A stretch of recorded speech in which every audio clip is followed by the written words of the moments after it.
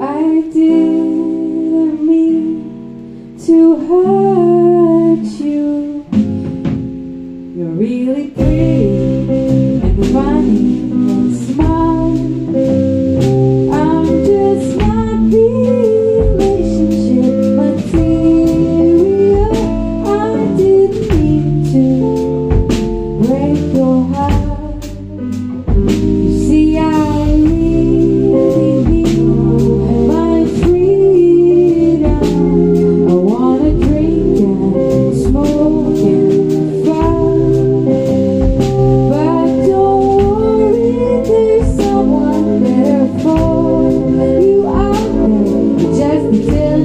you had very bad luck.